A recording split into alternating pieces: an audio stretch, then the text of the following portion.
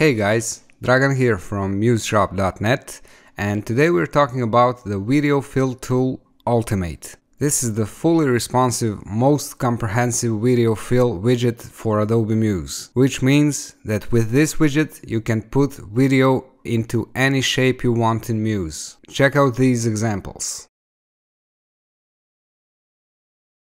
Video over a video,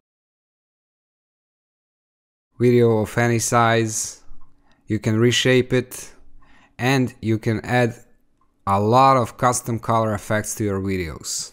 Okay, so let's see how the widget works. First you need to drag the widget on the canvas and open up the widget settings. You'll need three types of video files and an image poster file. If you don't know how to load or create these, you can see our Ultimate Video Backgrounds widget tutorial where it's explained how to create these video files. But it's pretty simple. You'll need an MP4 file, a WebM file, and an OGV file for your video files and you'll need a JPEG file for your image file. After we load our video files into the widget, we have the video positioning and what this means is you can actually add some parallax effects to your videos. By default it's set to scrolling which means the video will act as a normal video on any website and let's preview how that will look. So this is our normal scrolling video and if we check this option to fixed I'll add some more content below so we can actually do some scrolling.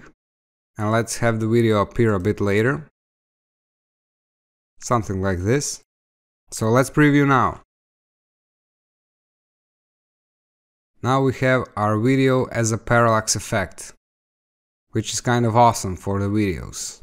You can use this as video strips, the very popular type of design, like this, so you can create video parallax sections like this. Then we can add a pattern overlay image so we can compensate for the video quality because it's recommended to use lowest size video files with your video widgets so your website will load faster. So let's add a pattern overlay and see what it does to our video.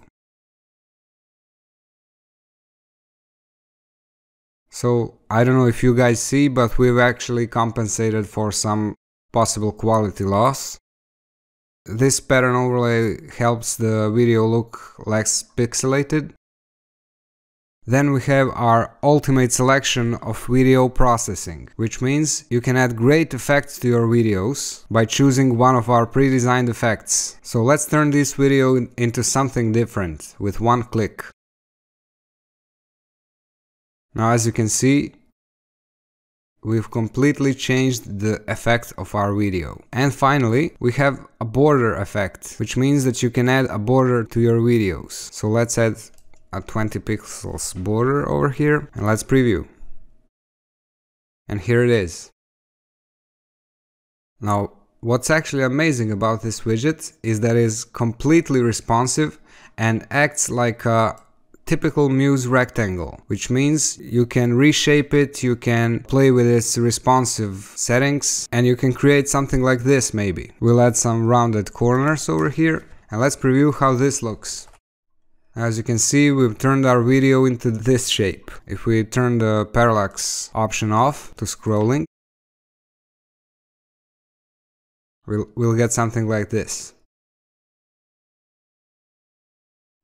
Now I have played around a bit with this video, so let's see what I've made.